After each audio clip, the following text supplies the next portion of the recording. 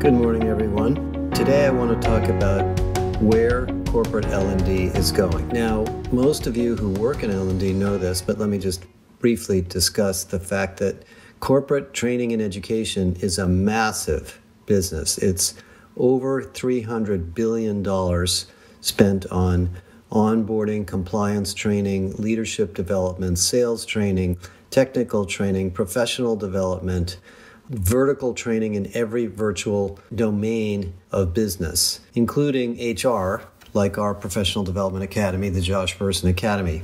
And the suppliers of training are vast. I, I, consider this to be what is called a red ocean.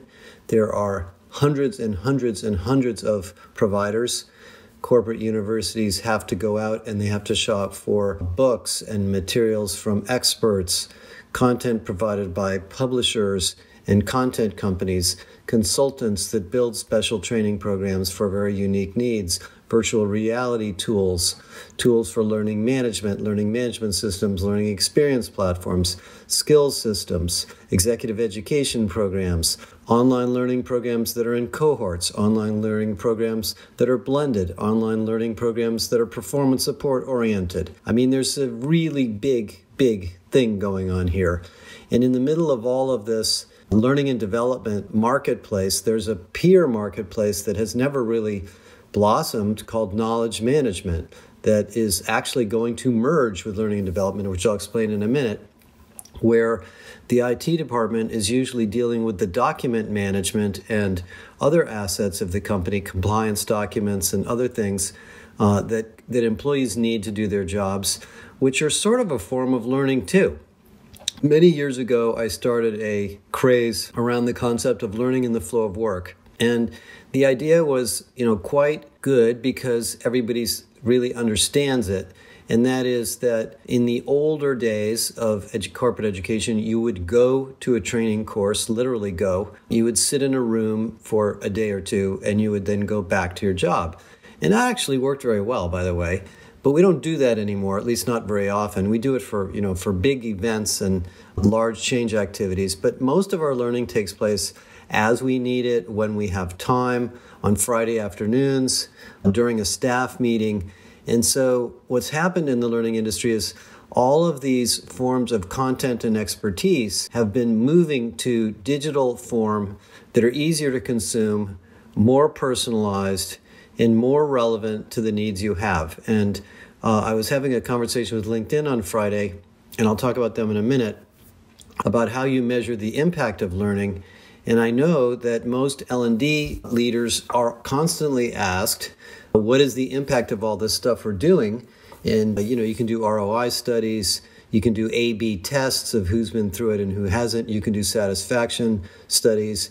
Well, I wrote a whole book on this a long time ago, and what I basically concluded was the most important measure of learning is utility.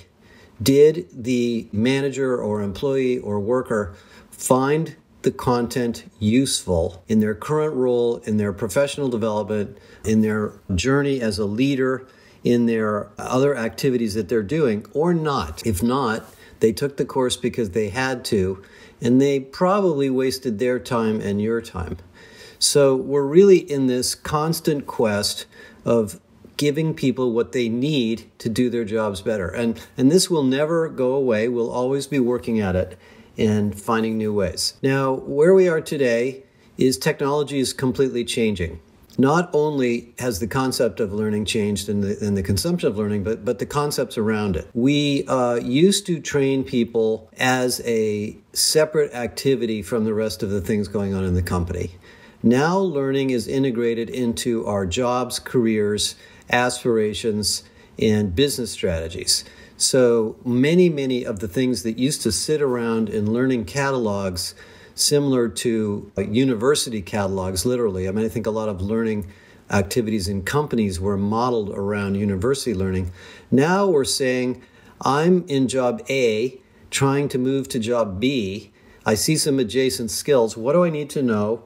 to go from being a data analyst to a data scientist, to go from being a marketing manager to an expert in SEO and SEO advertising, or from a data scientist to a machine learning engineer or a sales manager to a large account manager.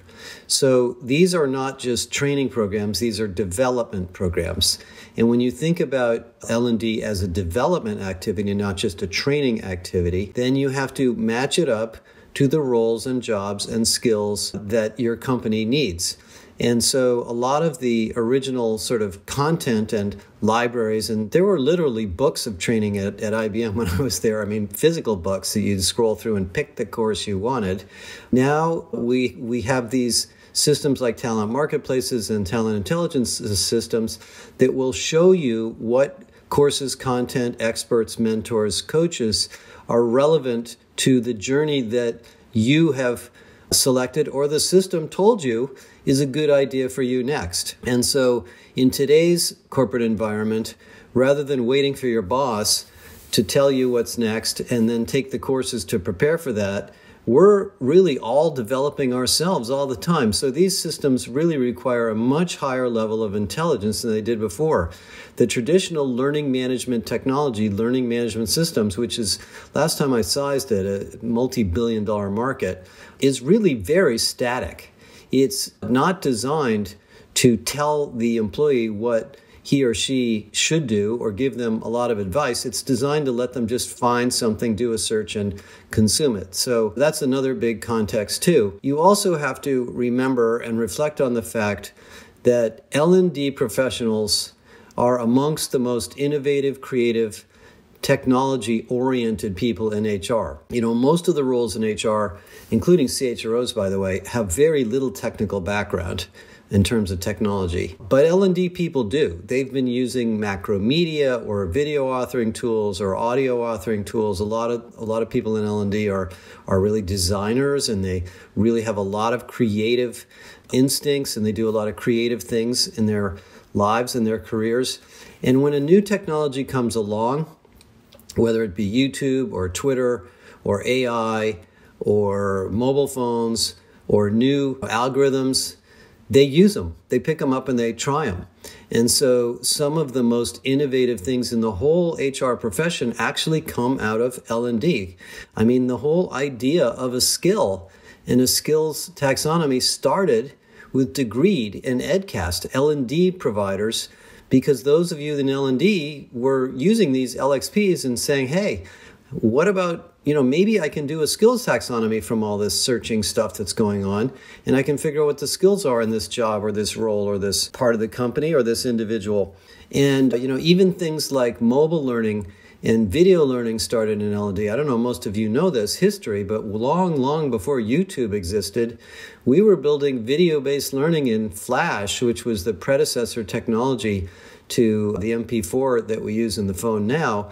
And I, I worked with a company called Ninth House Learning in 1999 that had built just spectacular uh, learning programs that were videos as good as Seinfeld episodes, but we couldn't run them on our phones, or there were no devices to run them, unfortunately, and we didn't have enough bandwidth. So people have been experimenting all the time. I expect, and I'm already seeing, enormous amounts of innovation and creativity and new technology in this space, to say nothing of the metaverse, by the way. And even though I can't predict it exactly, I'm pretty sure that we're going to be wearing glasses that are going to be like our regular glasses. They're going to have little windows in them and little earphones in the back, sort of like the Meta Ray Bans. And we're going to be learning that way too. And, and for a lot of employees who don't sit in front of a computer, that's going to be a pretty good way to learn and, and that's that's probably only in you know in the next year we're going to start seeing that so where are we well let me highlight what I'm beginning to pick up. I, I, by the way, this week I was at the BetterUp conference and I saw a product called BetterUp Manage. To give you an example of what's happening, what those guys do now is they uh, you can take an assessment in this new tool. It will show you the areas of your soft skills or power skills that you need help. It will then give you directed learning based on your profile and, and your assessment. It will connect you to a coach and it'll give you a step by step, week by week journey to improve your leadership skills. And it's not just for leaders, it's for everybody. So I think BetterUp Manage is an example. And there's, by the way, it's entirely AI based. There's an AI chat included, so you can actually ask questions of the content and interact with the system while you're going through this real life coaching experience uh, and self learning experience in BetterUp. LinkedIn has also really dramatically changed its offering. LinkedIn Learning, which I told them is probably misnamed, and I think they're working on that, is way more than LinkedIn Learning now. We used to think of LinkedIn Learning as lynda.com videos. Well, that's where it's been for a long time, and they have lots and lots of video courses in there, including one or two from me, on lots and lots of topics. But now you can interact with them through an AI and you can ask questions of the courses or of the corpus at large. They will direct you to courses in your career interest. They're basically a talent marketplace now. So, based on the taxonomy of your job and related jobs in LinkedIn, which is obviously very, very sophisticated, it will show you jobs in your company, by the way, that are open that you might want to apply for, and then give you learning activities and access to learning in that direction. And it will actually show recruiters in your company who happen to use LinkedIn Learning who is looking for opportunities that might be suited for a job. So recruiters get tapped on the sh- shoulder and say, uh, oh, hey, somebody over here in this department is a perfect fit for that job. Why don't you talk to them in addition to your external search? So, so LinkedIn Learning has completely evolved um, in this direction. But where I think it's going is even more interesting, and that is, you know, AI, which we use a lot now with Galileo, so we're getting very comfortable with it can do a lot of things. It can generate content dynamically, so we can take documentation or existing courses or maybe even a speech and we can generate instructional materials, ask people quiz questions, test people, generate scenarios. You can uh, obviously create almost any kind of content from it using generative AI. Generative AI can also serve as a coach while you're going through learning. So you can take the corpus of content in a training program, put it in the AI, and then ask it questions while you're going through the training program. AI can assess your skills. There's a new company called Workera, and there'll be others coming that can use AI to ask you probing questions about a topic, and then based on your uh, quality of answers, ask you more questions to level you in a topic, which, by the way, has never really been very easy to do. It's very, very manual and very difficult. Uh, there's AI that will personalize the content itself so that if we built a course, person A sees it this type of course and person B sees that type of course. Sana is doing that, the car- company that we work with in Galileo. And then there's, to me, the trillion dollar opportunity, which is merging all of our learning and development with the corpus of knowledge in the company. And let me run through that use case because I think there's a bigger market for this than most people realize. So we're working with a large defense contractor in the UK. This is a company that builds engines and missiles and nuclear subs and all sorts of things that fly through the air. And they've been doing it for a long time. And they have lots of engineers that have, you know, developed mastery in many, many things, and they're in different business units and product groups. And they've taken all of this knowledge that they've accumulated through many, many years of building these different things, and they put them into videos, wikis, courses, documents, test results, findings, etc. And they built a massive wiki for this. A wiki, for those of you who don't know what it is, was really the only way to manage a vast amount of content when it was constantly changing. We built a wiki in my old company, and it was uh, it was actually very useful, but kind of a mess. And what happens with wikis is you put a bunch of content into these systems, and it indexes them and tries to find the relationships between them, and you have to tag them. And then people go in and find stuff. It's it's kind of a knowledge management system. But you don't always find the right stuff and you don't know what you don't know. And it's not really an instructional form. So if you're not sure where to start, the wiki could kind of get you lost uh, while you never really get to the point. So, what these guys want to do, and, and this company, like most companies, has a lot of very senior people retiring. These people are going to retire with, you know, 30, 40, 50 years of intellectual property in their heads. And they want to transfer that knowledge to new people because the new engineers who come to work at this company take almost a year or longer to learn how to actually do good work because they have to learn the legacy of all the things that have already been invented there. I mean, I remember when I was getting out of school in 1978, I interviewed with a lot of technology companies. I interviewed actually with the US Navy. I actually met Admiral Rickover. And, you know, he interviewed me and grilled me on nuclear science and stuff. And then he said to me, you know, why do you want to work in, in the Navy? And I said, because I want to learn about all this stuff. And he said, Well, I don't want you to learn, I want you to do. He said, So if you come here, you're going to learn quickly because we need you to get some work done. Needless to say, I didn't go work there. But, but anyway, so that problem is in sales and marketing and product management and engineering, in customer service, in HR. I mean, think about our, our corpus of knowledge in HR. Well, when you look at what an LLM can do, you look at what Galileo can do, you look at what any LLM you end up implementing, you can put that content into channels in these AI systems and offer them in conjunction with formal training. And the AI can not only help you build the instructional content, but provide you knowledgeable access to the corpus of knowledge already existing in your company way beyond what an instructional designer can do. I did instructional design, I know how hard it is. Imagine if you had to do instructional design for the entire development of a jet engine. Forget it. I mean, you'll spend your life working on that. You might be able to do instructional design for the noise engineering of one part of the engine, but all of the other things that have been done over the, you know, 100 years of this company's R&D are very very hard to assimilate and you're going to spend months and months and months developing that and as soon as you develop it there's going to be something that's going to change. Well, well I think another dimension to where L&D is going is we need to think about this as a branch of knowledge management.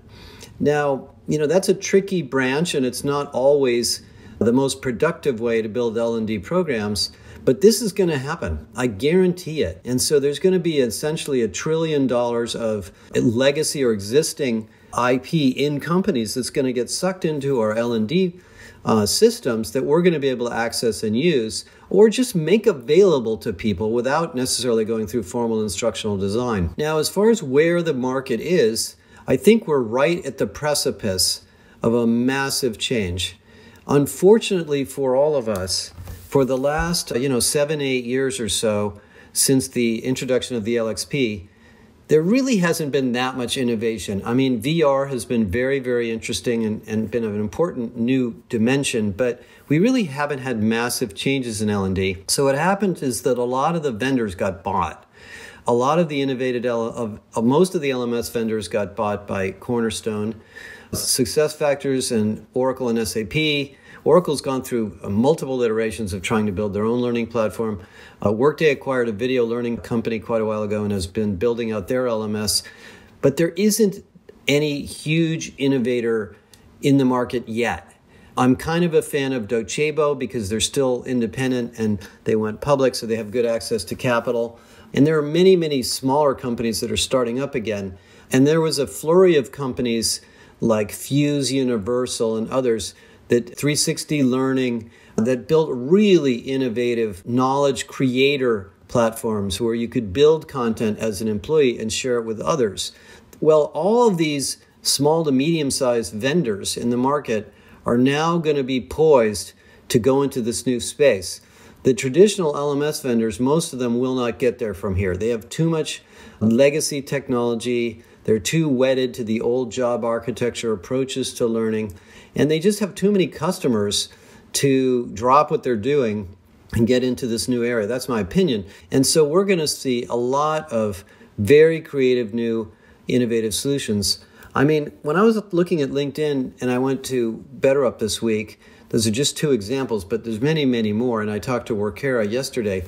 I realized that this is not going to be hard. The uh, AI technology can be implemented into most learning platforms relatively easily. And then it's a question of how creative is your vendor or how creative are you in asking your vendor to give you the use cases that you need. Now, one of the other things I'll just mention about L&D is it really isn't one big market sales training is very different from customer service training, which is very different from IT professional development as engineers, as training to run an oil rig in an oil company, as training to drive a truck as a truck driver, as training to be a Starbucks employee, as training to be a first line manager, as training to be a senior executive. I mean, these are, in a sense, different markets, not part of the same market. We, we group them together in companies to make them easier, But in most companies that are big, they've got a sales training group that's completely different from the customer service training group that's completely different from the corporate L&D group which has a bunch of people working on professional development for different groups and a completely different group doing leadership development.